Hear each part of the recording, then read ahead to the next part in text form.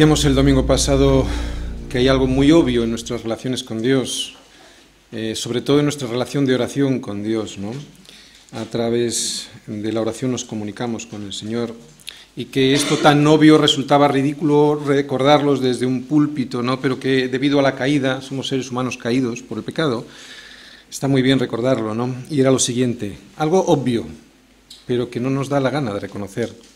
Y recuerda, lo que voy a decir hoy va a ser la línea sobre la que hoy va a girar toda la predicación. Fijaros, Dios es Dios y nosotros no. Resumiendo la predicación del último domingo, decíamos que la oración no es para escucharnos, sino para escucharle, que no consiste tanto en pedir como en rendirse ante Dios, ¿no? que es mucho más que una simple conversación con Dios, es comunión íntima con Él, que la oración no consiste en que Dios cambie su opinión, sino que Él cambie la mía, y que la oración no es para conseguir las cosas de Dios, sino para conseguir al Dios de todas las cosas. ¿no? De hecho, si oramos correctamente, muy probablemente tengamos que orar en contra de los deseos engañosos de nuestro propio corazón. Y todo esto venía al hilo de lo que veíamos en la primera parte de Hechos 12. Hoy también vamos a ver Hechos 12, pero la segunda parte, el domingo anterior vimos la primera parte y ahí lo que vimos es una célula de oración ¿no? en la casa de María, la madre de Juan Marcos. Todo esto venía al hilo de lo que veíamos en la primera parte de Hechos 12 del domingo pasado, ¿no? donde encontrábamos, ¿qué encontrábamos? Una célula de oración en la casa de María, que es, era la madre de Juan Marcos. ¿no? En esa casa estaban todos orando, y estaban todos orando sin cesar por la liberación de Pedro, ya que Herodes había metido a Pedro en una cárcel, en la cárcel. Herodes metió en la cárcel a Pedro, esperando, ¿recordáis?, sacar tajada política de algo que veía que agradaba a los judíos de Jerusalén, la persecución a los cristianos. Al ver que el asesinato de Jacobo había agradado a los judíos, procedió también prender a Pedro para hacerle lo mismo, para asesinarle. Después, cuando Pedro es liberado por un ángel enviado por Dios y llega a la casa de María, donde están todos orando por él, Pedro les cuenta lo que vimos, ¿recordáis en el versículo 17 que vimos? Pero él, haciéndoles con la mano señal de que callasen, les contó cómo el Señor le había sacado de la cárcel y dijo, Haced saber esto a Jacobo y a los hermanos, y salió y se fue a otro lugar. Decíamos que este es el último momento en el que vamos a ver a Pedro como protagonista de este libro de los hechos, ¿no? Y lo último que dice como protagonista es, el Señor me liberó. Decíamos también que esto es un muy buen ejemplo para nosotros, ¿no? el de contar cómo Dios nos saca de los problemas. ¿no? ¿Cómo te escapaste? ¿Cómo saliste?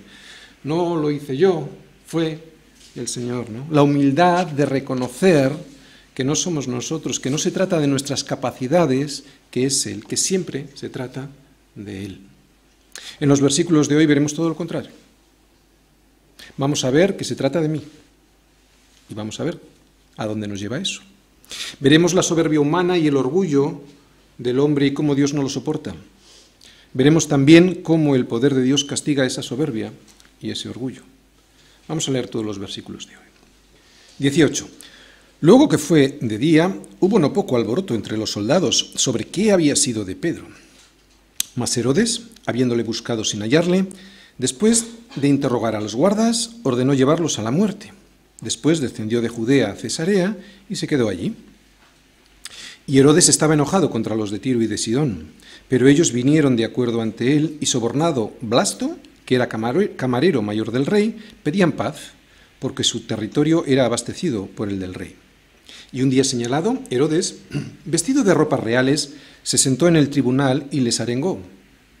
Y el pueblo aclamaba gritando, voz de Dios y no de hombre. Al momento un ángel del Señor le hirió, por cuanto no dio la gloria a Dios, y expiró comido de gusanos. Pero la palabra del Señor crecía y se multiplicaba. Y Bernabé y Saulo, cumplido su servicio, volvieron de Jerusalén, llevando también consigo a Juan, el que tenía por sobrenombre Marcos. La vida de un hombre orgulloso y su castigo. Hechos 12 del 18 al 25. Bien, para que entiendas bien todo esto que acabamos de leer, y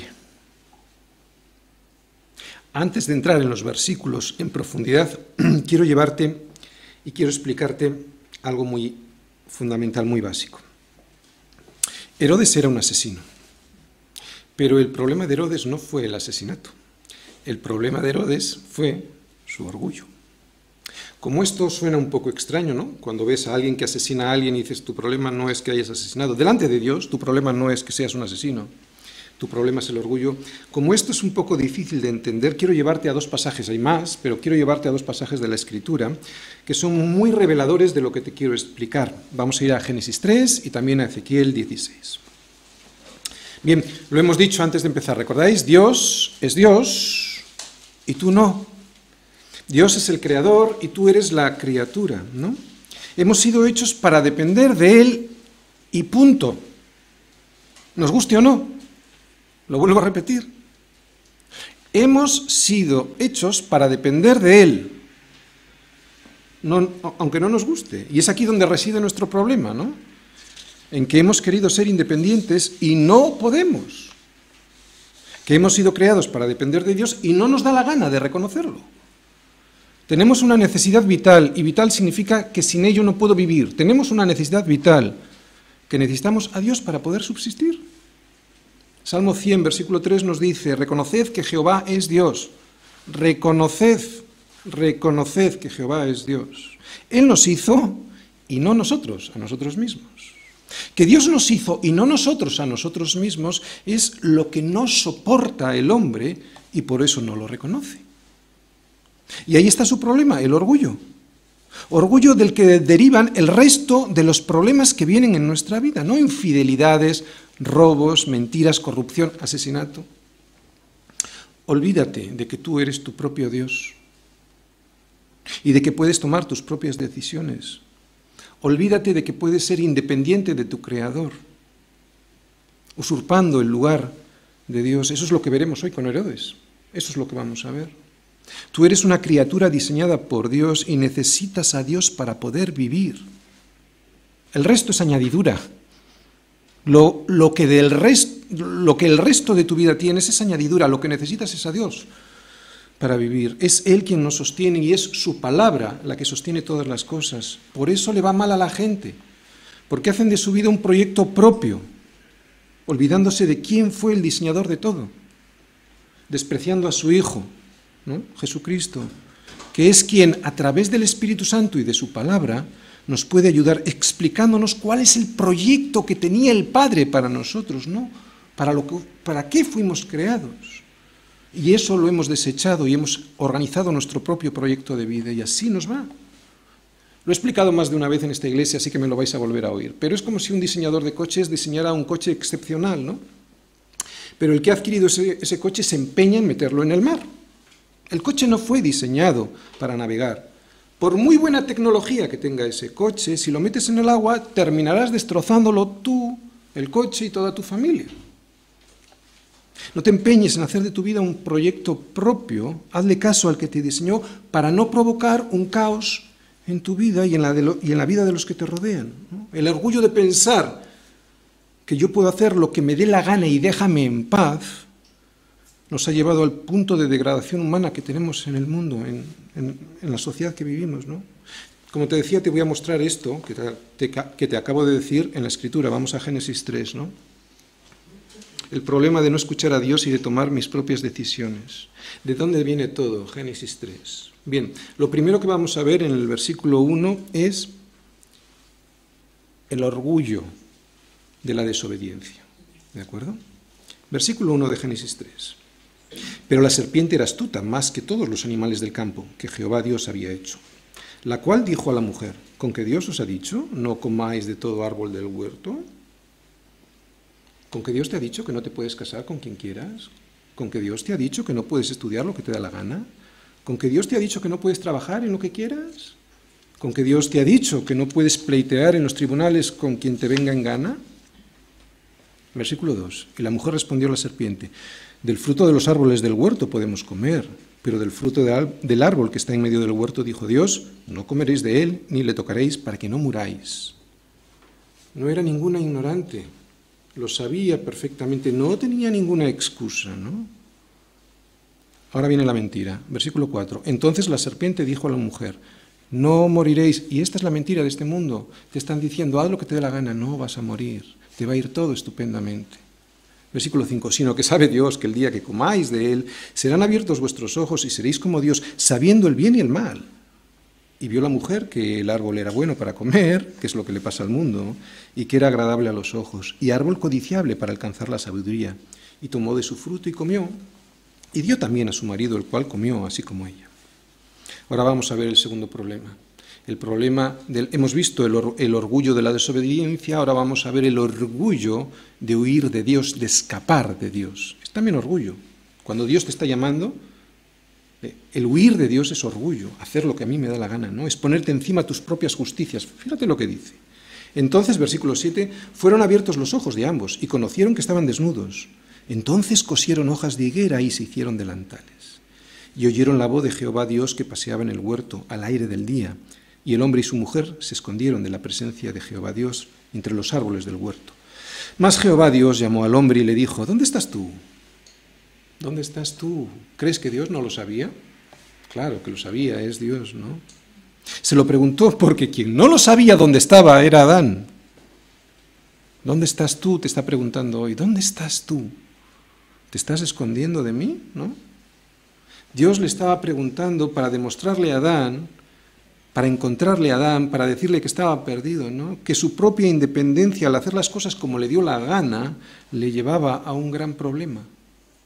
Tercer problema, el orgullo de la justificación. Hemos visto el orgullo de la desobediencia, el orgullo de escapar de Dios y ahora el orgullo de la justificación. Fíjate lo que le dice. Y él respondió, oí tu voz en el huerto y tuve miedo porque estaba desnudo y me escondí.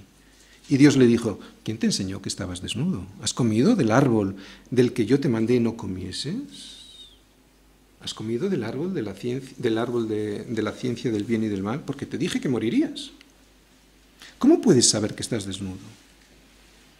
Y Adán casi le está diciendo, sí, mira, sí, pero me he cubierto con unas hojitas de higuera, ¿no? Ya está el problema solucionado, ya estoy justificado delante de ti, yo, yo, yo, yo lo hice, yo me puedo salvar, yo ya no estoy desnudo, es lo que le está diciendo. Versículo 12. Y el hombre respondió, la mujer que me diste por compañera me dio del árbol y yo comí. Entonces Jehová Dios dijo a la mujer, ¿qué es lo que has hecho? Y dijo la mujer, la serpiente me engañó y comí. ¿Qué vemos aquí? Nunca somos nosotros, ¿no? Siempre es el de enfrente. La mujer lo sabía porque se lo había dicho Adán. Y el hombre lo sabía porque se lo había dicho Dios. Ninguno tenía justificación, pero todos hacemos eso. Es la el orgullo de justificarme delante de los demás. Mi mujer, ¿no? Mi marido, es que, es que, es que cuando reconozcamos que yo metí la pata por haber hecho de mi vida lo que me dio la gana, cuando dejemos de ponernos hojitas de higuera para justificarnos delante de Dios, cuando dejemos de poner excusas, cuando dejemos de justificarnos diciendo que el problema viene porque este me dijo, este me hizo, ella me engañó, entonces habremos dado el primer paso para arreglar el resto de nuestros problemas. Por eso te he dicho que el problema de Herodes no era el asesinato, era el orgullo. Sin, arreglar la raíz de donde viene todo el orgullo, el, el resto de los frutos de nuestro árbol se verá podrido. Y atención, todos lo verán. Normalmente el último que lo ve eres tú. Vamos a ver lo mismo en Ezequiel. Vamos a Ezequiel 16. Fijaros, es muy interesante Ezequiel 16. Versículos, como os he dicho, 49 y 50. Leemos. Os acordáis todos de Sodoma y Gomorra, ¿verdad? Todos sabéis de qué va la cosa, hasta los no creyentes saben de qué va. Fíjate lo que dice el versículo 49. He aquí esta, ¿habéis encontrado? Ezequiel 16, versículo 49. He aquí esta fue la maldad de Sodoma, tu hermana ¿Problemas de homosexualidad? ¿De perversión sexual? No dice eso. Lo volvemos a leer.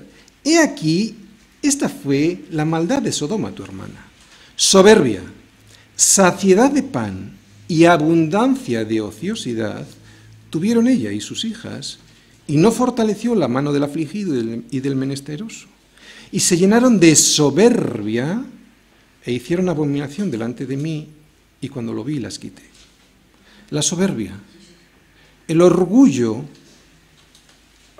de hacer lo que me da la gana, ¿no? de despreciar el consejo de Dios. El problema de Sodoma y Gomorra, aquí lo estamos viendo, no fueron sus perversiones sexuales, orgullo, ¿Te suena esto en nuestro país? ¿Orgullo? ¿Saciedad de pan? ¿Ociosidad? ¿No asistir al, al menesteroso?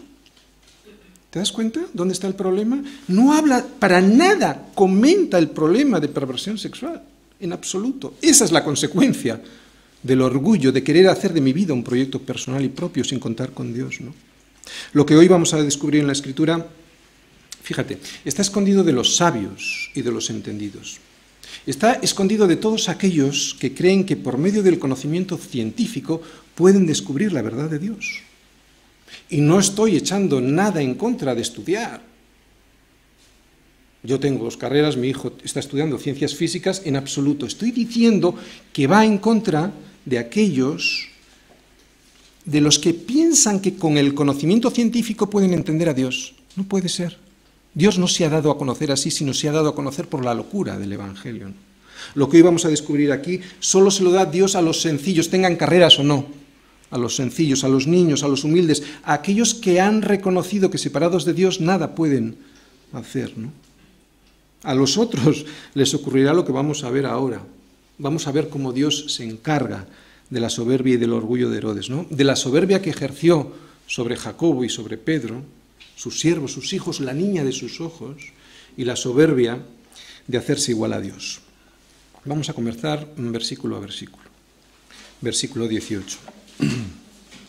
Luego que fue de día hubo no poco alboroto entre los soldados sobre qué había sido de Pedro. Mas Herodes, habiéndole buscado sin hallarle, después de interrogar a las guardas, ordenó llevarlos a la muerte. Después descendió de Judea a Cesarea y se quedó allí. ¿Qué acabamos de ver? Ira, enojo, asesinato, ¿no? Y todo porque no consigo lo que quiero. Es verdad que como protección contra el soborno, la ley romana contemplaba este castigo. De esta manera ningún soldado estaría tentado a aceptar dinero a cambio de hacerse el dormido o dejarse pegar para poder escaparse. ¿no? Así que la ley permitía esta pena capital con este motivo, ¿no? evitar el soborno para que los presos no escapasen. Pero, sin embargo, matar a 16 personas que son las que estaban custodiando a Pedro. ¿no? Es una prueba de crueldad de este hombre y de cómo usa este medio la crueldad para aplacar su ira. ¿no? Él pretendía matar a Pedro para conseguir su propio beneficio político y como no lo consigue aparece la ira, la rabia, el asesinato. Todo este lenguaje es el lenguaje de Satanás, ¿no? Es el lenguaje de aquel que viene a matar, a hurtar y a destruir. Todo lo contrario a lo que veíamos en Juan 10, 10, ¿no?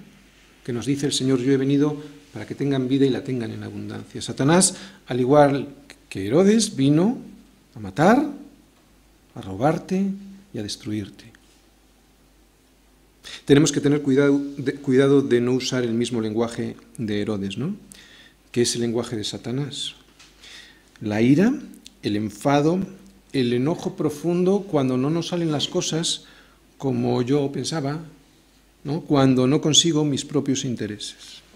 Cuando el mundo busca su propio beneficio y no busca servir a los demás, cuando busca su propio beneficio por encima de todo y a costa de cualquiera, terminará actuando como Herodes, y si no hace más es porque no le dejan, explotando de ira, y vuelvo a repetirlo, si no hace más es porque no le dejan.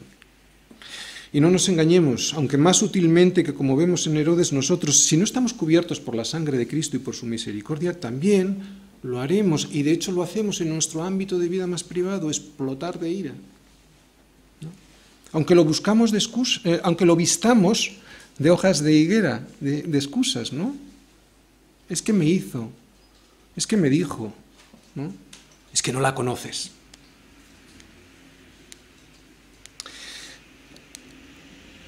Quien no te conoces eres tú. Romanos 3. Vamos a Romanos 3. Fíjate Romanos 3, versículos del 9 al 19.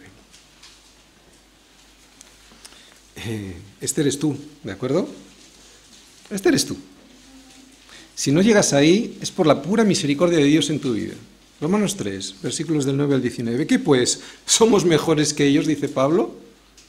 En ninguna manera, pues ya hemos acusado a judíos y a gentiles, que todos están bajo pecado.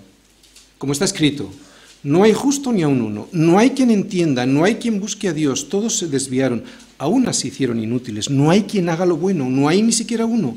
Sepulcro abierto es su garganta, con su lengua engañan, veneno de áspides, de serpientes, hay debajo de sus labios, su boca está llena de maldición y de amargura, sus pies se apresuran, no solo Herodes, tú y yo si te dejan, sus pies se apresuran para, derramar sangre.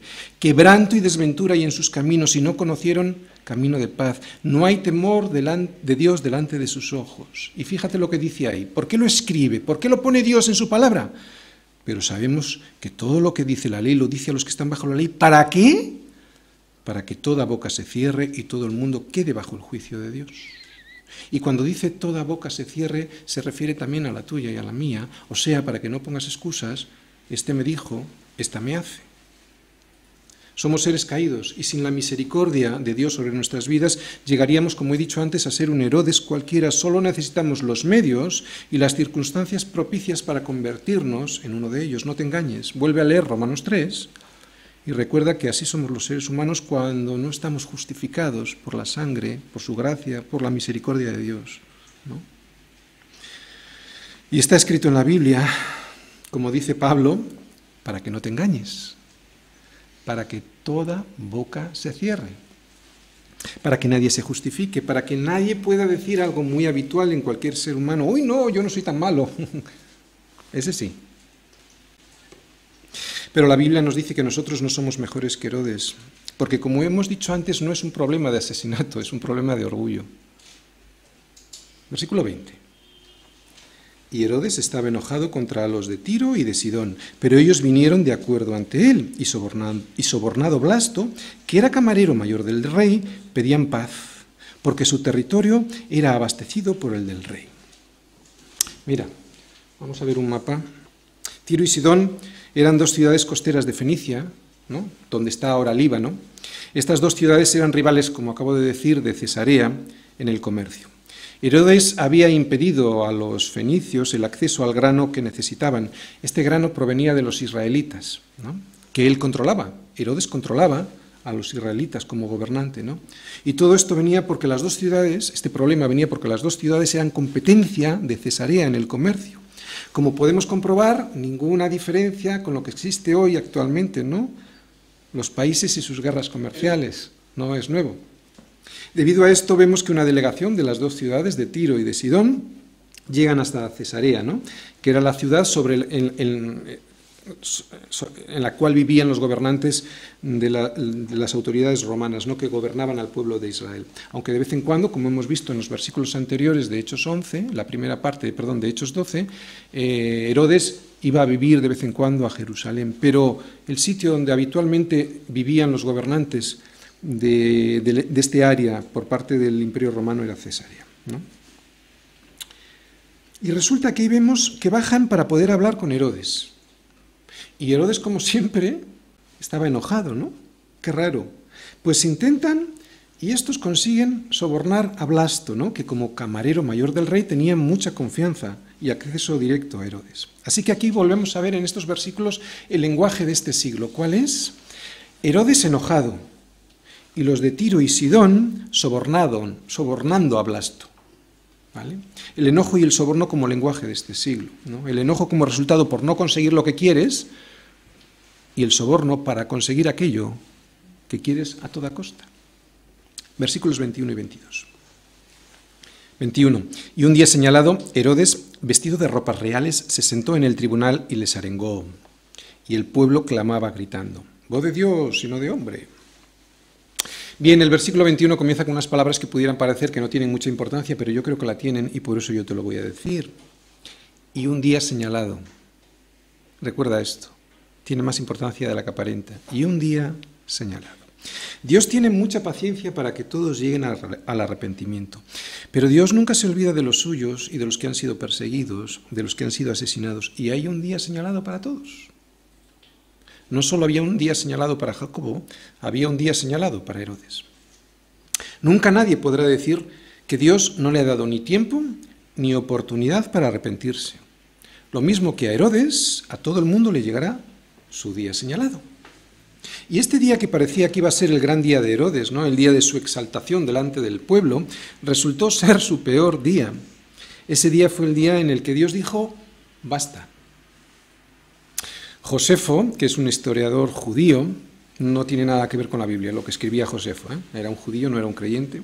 Nos da alguna información adicional sobre este suceso, sobre este acontecimiento, y nos dice que Herodes entró en el escenario, en la arena, en el tribunal, al amanecer. Nos dice esto Josefo, que entró al amanecer. Y nos dice también que Herodes se vistió con unas ropas tejidas con un hilo de plata.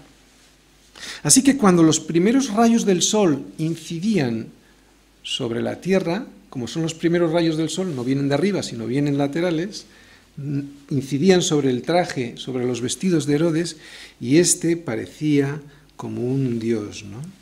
Resplandecía como un dios. El soborno de los de Tiro y Sidón, la soberbia de Herodes y la adulación y el halago de los que asistían al tribunal. Todo esto como lenguaje que usa este mundo, para conseguir su propio beneficio. Fijaros, los asistentes no estaban aclamando a Dios, y esto es de lo que estamos hablando hoy, de robarle la gloria a Dios. No estaban aclamando a Dios, sino a un hombre, a Herodes. Oían a Herodes y le aclamaban como a Dios. Y en el día de hoy es exactamente igual, ¿no? Los hombres dándose la gloria los unos a los otros para conseguir sus propios intereses, y eso lo hemos hecho nosotros también. Nunca honrando a Dios, que es quien sostiene y quien proporciona todas las cosas.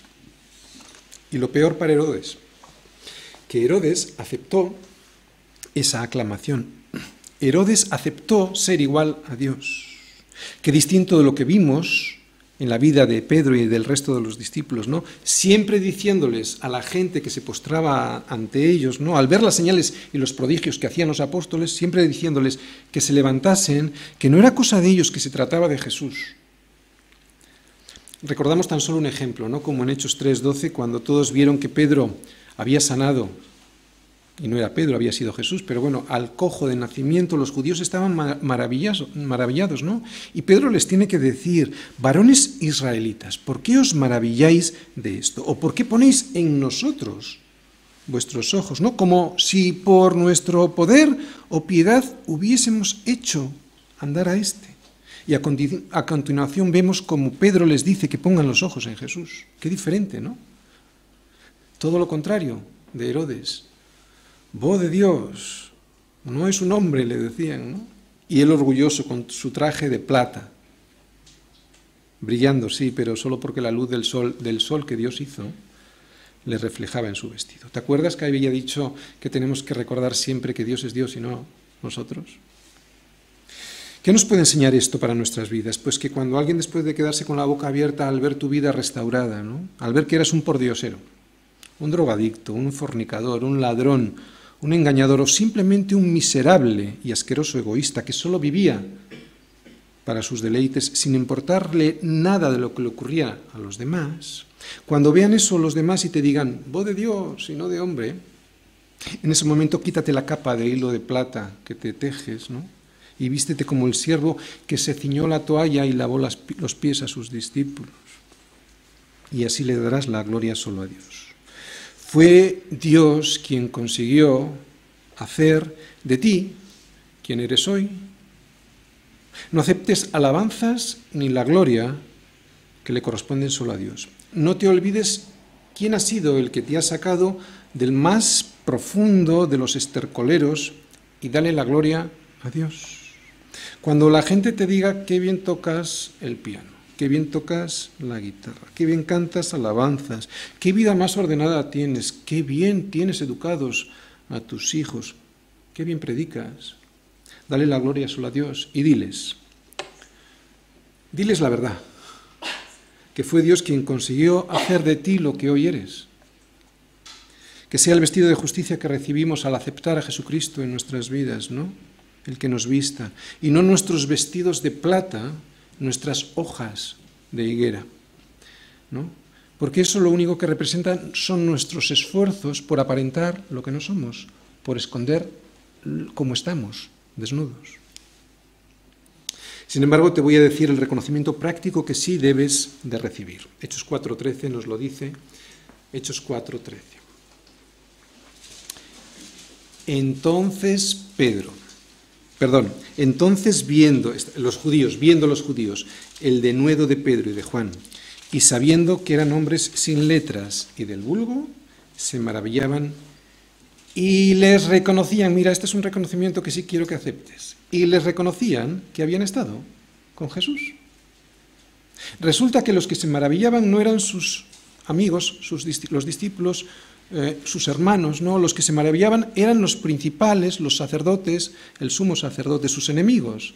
Gente preparada, que cuando vio a estos galileos, a estos aldeanos, a estos pueblerinos, a los del vulgo y sin letras, se maravillaban y se preguntaban, ¿cómo puede ser? Ellos tan preparados no les llegaban ni a la suela de las sandalias, pero no se arrepentían, y ahí está el problema, por eso tenían envidia y Dios se apartaba de ellos. Esto es un milagro, no es una cuestión intelectual, es el milagro de Dios sobre la vida de aquel que se arrepiente y se humilla, no aquel que tiene mucha capacidad. Y como hemos dicho ya, el problema no lo tiene Dios con los pecadores que se arrepienten. Dios, la bronca, la tiene con los orgullosos, con los que se creen sabios en su propia opinión, con los entendidos de este siglo, con esos ni agua. Y le reconocían que habían estado con Jesús. Eso es algo que a mí me gustaría mucho que me reconocieran. No mis vestidos tejidos con hilos de plata, ni mis justicias, ni mi propia sabiduría.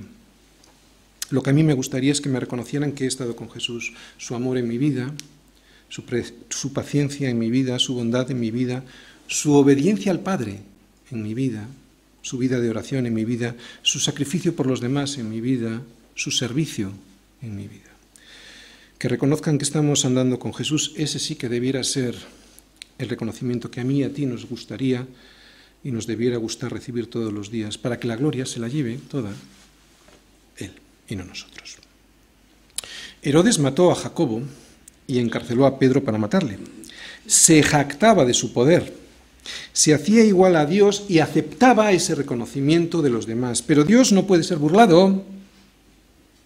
No hay nada que el hombre siembre que un día señalado no vaya a cosechar. Por eso un día señalado, como nos dice el versículo 21, no un día cualquiera, sino el, el día que Dios va a elegir. ¿no? Ese día señalado ocurrió algo. Versículo 23. Al momento un ángel del Señor le hirió, por cuanto no dio la gloria a Dios y expiró comido de gusanos. Bien, vemos que Dios castigó a Herodes y lo castigó públicamente.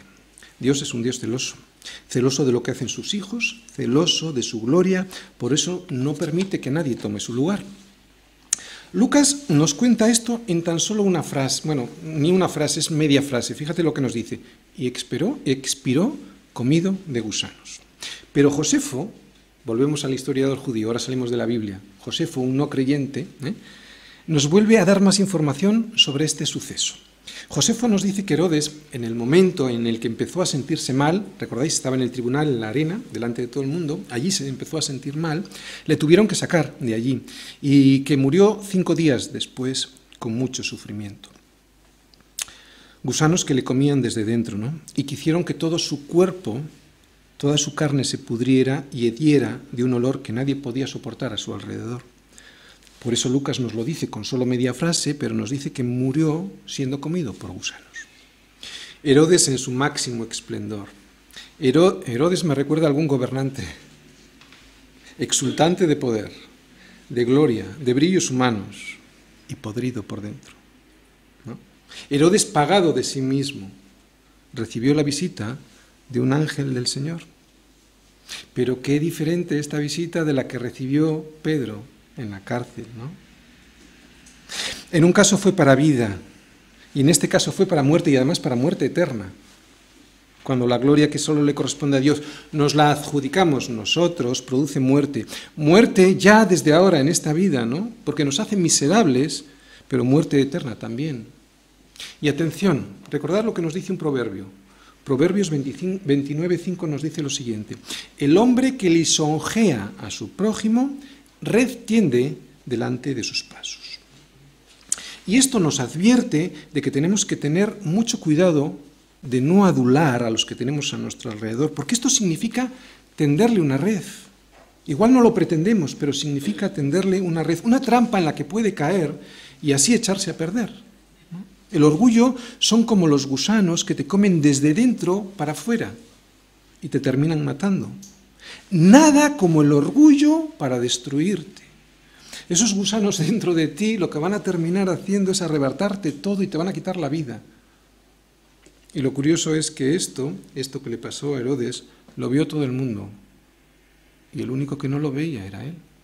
Ese es el problema del pecado, que te pone ciego, no, no, te enteras de lo que te está pasando a ti mismo. Solo es Jesucristo cuando te humilla, a través de la Escritura te enseña quién eres, ¿no? Todo el mundo vio cómo Herodes era destruido. Tenemos que tener mucho cuidado con el orgullo porque nos va a matar. Y lo va a ver todo el mundo, menos yo. Solo de pensarlo me tiemblo. Por eso lo primero que hace el Señor cuando llegamos a su presencia es matar mi ego, matar mi yo, mi orgullo, ¿no? De hecho, la primera bienaventuranza que estudiamos aquí en esta iglesia consiste en eso, ¿no? Que reconozca lo que soy. Bienaventurados, ¿quiénes? Los pobres en espíritu. ¿Quiénes son estos? Pues son los que reconocen que no son nada. Los que han descubierto en su vida que son unos miserables, pobres de solemnidad, y al encontrar en sus vidas semejante cáncer, el orgullo de creerme como Dios, ¿no? Van delante de Dios y quieren ser limpiados con la sangre de su Hijo Jesucristo. ¿Y por qué son bienaventurados? Pues lo dice la bienaventuranza, porque de ellos será el reino de los cielos, ¿no? Y una advertencia para los cristianos. Si esta muerte del yo no ocurre y además en mi vida todos los días, mi existencia va a ser una pura falsedad, una imitación cristiana. Y lo pasaremos mal, porque no veremos frutos. Y entonces, al no ver frutos, pensaremos que el cristianismo es un cuento, cuando en realidad el problema lo tengo yo, porque yo no he muerto, no he dejado vivir a Jesucristo en mi vida. Cuando alguien no toma su cruz y le sigue, y todos los días, no solo los domingos en la iglesia, entonces podrá venir a cantar los domingos, pero no le dará verdaderamente la gloria a Dios. Y esto es lo que de alguna manera le mató a Herodes, que no le dio la gloria a Dios y se, la, se la arrebató, ¿no? algo que solo le pertenece a Dios. La alabanza verdadera es un sacrificio vivo, ¿recordáis? Toda nuestra vida al servicio de Dios. La alabanza verdadera es, pues, todo lo contrario al orgullo y a la soberbia, que significa centrarme en mí, en mi propio proyecto de vida y sacarlo adelante por encima de todo y caiga quien caiga. Y aquí todos estamos metidos. Es verdad que estamos viendo un ejemplo un poco extremo, estamos viendo de alguien que asesina para conseguir su propio fin, pero aquí estamos todos. Todos hemos hecho cosas para conseguir nuestro propio interés, ¿no? Olvidándonos de Dios. Herodes confiando en su propio poder y despreciando aquello que no conocía aunque decía conocer, las escrituras. Hay que, hay que recordar que Herodes, mientras estaba en Jerusalén, observaba escrupulosamente la ley y la tradición judías, y aunque no era judío, ¿eh? tenía una ascendencia de su abuela que sí que lo era, en algunas fiestas las autoridades le concedían el, honor de leer un pasaje de la ley, así que él conocía las escrituras, no tenía ninguna excusa. La esencia del versículo que estamos analizando es muy sencilla. Fíjate, léelo. Por cuanto no le dio la gloria a Dios, expiró comido de gusanos. Tan sencillo como eso. No hay mucha teología profunda aquí. Cuando no le das la gloria a Dios y te alimentas de tu propia gloria, los gusanos crecen en tu, interior y te llevarán a la destrucción. Sin embargo, cuando confías en Dios y te alimentas del pan que descendió del cielo, que es Jesucristo, Él se lleva toda la gloria y vives, pero vives de verdad, no solo subsistes. Además, fíjate lo que pasa. Versículo 24. Pero la palabra del Señor crecía y se multiplicaba. Me encantan los peros de la Biblia porque implican un punto de inflexión, algo va a cambiar. Pero significa que algo va a cambiar, ¿no? Este pero significa que aunque las cosas parece que van mal, es el Señor quien controla todo. Las cosas parecía que iban muy mal para los cristianos, ¿no? Jacobo muerto, persecución a Pedro, Pedro estaba huido porque le estaban persiguiendo, gran hambre en Jerusalén, lo vimos en Hechos 11. Sin embargo, la palabra del Señor crecía y se multiplicaba. Todas estas desgracias, cualquier ser humano las vería como una situación límite y sin solución, ¿no? Pero para Dios no es así. Dios tiene el control de todo y permite estas situaciones, como vemos ahí, para que crezcas, y atención, algo más, para que te multipliques. En el Evangelio no verás que se habla de sumar. En el Evangelio siempre se habla de multiplicar. ¿no? Cuando alguien está sembrado en buena tierra, no suma, multiplica. Lo vimos el domingo pasado, ¿recordáis? Mateo 13, 23, más, el, más el que fue sembrado en buena tierra, este es el que oye y entiende. No solo el que oye, sino el que entiende y entonces pone, se siembra, ¿no? La palabra, oye y entiende la palabra y da fruto y produce. ¿Cómo produce? ¿Uno más uno, más dos, más tres? ¿Cómo produce?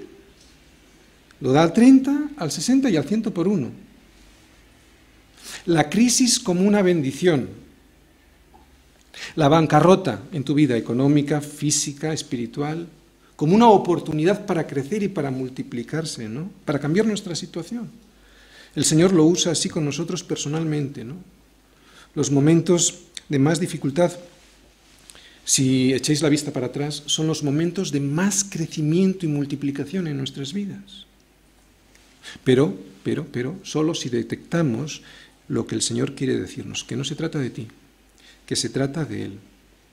Y esto es lo que nos quiere enseñar el Señor cuando permite las dificultades en tu vida, que te dejes de centrar en ti para que te centres en Él. A veces pensamos que estas situaciones lo que producen en nuestra vida es una resta, ¿no? que nos pretende el Señor anular, anularnos, restar. Cuando lo que realmente quiere el Señor es que crezcamos espiritualmente y nos multipliquemos. Toda la, Biblia está llena de, sufrimiento y este libro de Hechos, desde que hemos empezado, hemos visto mucho sufrimiento en los cristianos. ¿no? Está lleno de dificultades y de persecución, pero también lo está de crecimiento y de multiplicación. Si lo estás pasando mal, no significa que Dios no te ama, sino que quiere que crezcas y que te multipliques. Yo así lo puedo atestiguar, que el sufrimiento que Dios permitió en mi vida era una preparación para lo que luego iba a venir. Un crecimiento y una multiplicación que no se parece en nada a lo que antes de las dificultades yo tenía en mi vida. ¿Sabes el problema? Pues que esto solo se ve después. Y hay que agachar la cabeza sin tener nada a la vista. Es por fe. No cambio por nada en este mundo la disciplina y el sufrimiento. Pensará la gente que estoy loco, pero los cristianos de verdad yo creo que dirían lo mismo. No cambio por nada en este mundo la disciplina y el sufrimiento que el Señor permitió en mi vida. Esa tristeza que me trajo el sufrimiento provocó vida y salvación. Como dice 2 de Corintios 7:10, porque la tristeza que es según Dios, o sea, la tristeza que permite Dios y que ves que es una disciplina que Dios permite en tu vida, dice, porque la tristeza que es según Dios produce arrepentimiento para salvación, de lo cual no hay que arrepentirse, sigue diciendo Pablo, pero la tristeza de este mundo produce muerte. No es lo mismo la tristeza según Dios que la tristeza según este mundo. Por eso no me arrepiento para nadie, agradezco a Dios enormemente no solo la disciplina y el sufrimiento, sino el reconocimiento y el haberme dado cuenta que era para un propósito. El Señor jamás desperdicia tu sufrimiento cuando es según Dios. Versículo 25. Y Bernabé y Saulo, cumplido su servicio, volvieron de Jerusalén, llevando también consigo a Juan, el que tenía por sobrenombre Marcos. Bien, este versículo tiene que ver más con Hechos 13, eh, por eso lo veremos el próximo domingo. Resumen. Hemos estado viendo que la soberbia y el orgullo son vencidos por el poder de Dios. Siempre son vencidos por el, por el, por el poder de Dios. Vendrá un día señalado. Hemos estado viendo que lo que llevas dentro de ti va a salir a la luz, tarde o temprano va a salir a la luz ya sea la podredumbre de los gusanos, como en el caso de Herodes, que produce muerte, ya sea la luz de la palabra de Dios, como en el caso de sus, de sus discípulos, que produce vida. Fuimos creados, recuérdalo muy bien por favor, fuimos creados para glorificar a Dios. Y cuando le robamos la gloria a Dios, seremos destruidos. Nuestra tendencia, al igual que Herodes, es la de robarle esa gloria nosotros también. Y esto son malas noticias. Pero dentro de todo esto hay también buenas noticias. ¿Estás cansado de luchar en tus propias fuerzas para demostrar que tú lo vales, que tú, los, que tú lo mereces y los resultados son nefastos? ¿Tienes tu vida destrozada porque has luchado con las armas de este siglo y solo has cosechado gusanos que te están pudriendo desde dentro? Pues dentro de estas malas noticias hay una muy buena noticia. Seas o no cristiano, si vienes con ese destrozo personal y lo reconoces, y reconoces, pues que no te ha valido para nada, ¿no? Eres tierra fértil.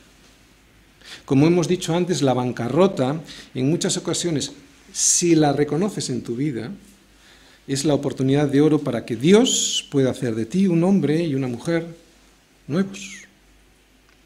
Bienaventurados los pobres en espíritu, porque de ellos es el reino de los cielos, nos dice el Señor en Mateo 5.3. Bienaventurados los que están así y lo reconocen. El problema es estar así, pero el principio de la solución es reconocerlo.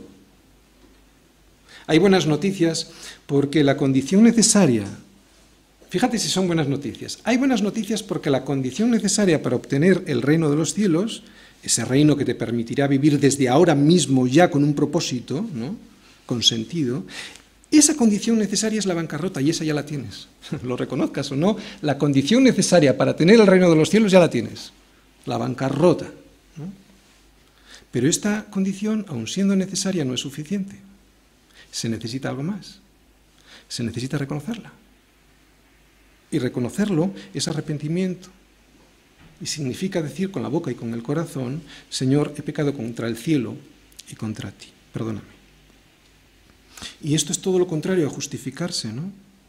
Que es ponerse una hoja de higuera para tapar mis vergüenzas. Arrepentirse es quitarse esa hoja, ¿no? Y ponerse delante de Dios, ¿cómo estás? Desnudo para que pueda perdonarte. Arrepentirse, pues, es quitarse esas hojas, esas justificaciones, y, decirles que, y, decirle al Señor que necesita ser vestido con la justicia de su Hijo. Aceptar ese sacrificio, eso es lo que significa estar justificado. Herodes se vestía con sus propias justicias, ¿no? Y se daba gloria a sí mismo. Daba una apariencia de Dios con su vestido de plata, pero era un diablo. Daba una apariencia de Dios, ¿no? Con sus propias obras, con su propia justicia. Siempre, sin embargo, siempre estaba enojado, con ira y matando para conseguir sus propios fines y sus propios intereses, ¿no? Y atención, seguro que tenía una justificación, ¿eh? Todos la tenemos. Si tú hablas con Herodes, con Stalin o con Hitler, seguro que tenían una muy buena justificación.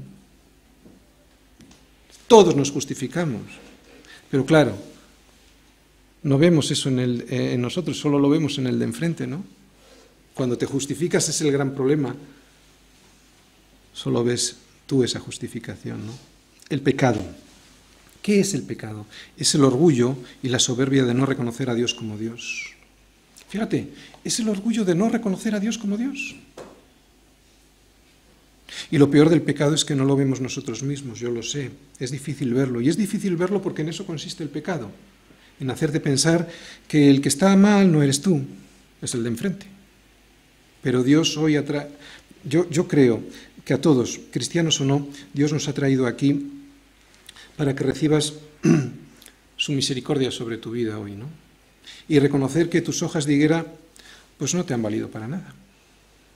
Hoy Dios te ha traído aquí para que desnudo y miserable, como realmente eres, puedas decir, Señor, rescata mi vida de donde yo la he llevado, rescátame de, de, a donde yo he llevado a mi familia, pensando que se trataba de mí, ¿no? Y cómo con mi orgullo y mi soberbia he pensado que yo era la víctima, cuando soy el verdadero culpable de mi situación. Yo, yo, ¿no? Yo solo me he llevado hasta donde yo ahora mismo estoy y necesito que me liberes. Mi pecado de orgullo me separa de Dios. Necesito la gracia de Dios para que me limpie, ¿no? Sé que la tengo, lo dice la Escritura, y además dice la Escritura que sobreabunda, ¿no? Porque donde abunda el pecado, fíjate lo que dice, sobreabunda la gracia. ¿Abunda el pecado en tu vida? Pues sobreabunda la gracia de Dios para perdonarte, ¿no? Pasa es que nuestro entendimiento y sobre todo nuestro orgullo no nos deja verlo así, ¿no? Por eso debemos pedirle al Señor que nos ayude, ¿no? Necesito humildad para entender que estoy mal, necesito su ayuda para aceptar su gracia, su regalo, y necesito también santidad para reconocerlo. ¿Por qué salir por esa puerta, no otra vez con la misma confusión con la que entraste? El Señor solo rechaza al orgulloso, solo desprecia al soberbio. Dios no tiene ningún problema con el pecador que reconoce su condición. ¿Con quién andaba Jesús? Sino con los pecadores ¿no? y con los publicanos. Y eso es lo que le echaban en cara a los judíos. Pero él decía que solo los que están enfermos tienen necesidad de, médico. El problema es que todos estamos así pero no todos lo reconocen. El Señor solo tiene problemas con el que por su orgullo se deja comer por los gusanos y no reconoce que eso es así. A ese le deja solito, para que descubra hasta dónde le lleva ese orgullo y esa soberbia y a dónde le lleva es a la muerte. Hay perdón para todo el mundo. En la sangre de Cristo hay perdón para todo el mundo. Solo hay un sitio donde no puede entrar el perdón de Dios. Y es en un corazón orgulloso y soberbio. Y son buenas noticias. Amén. Señor, te damos muchas gracias por tu palabra.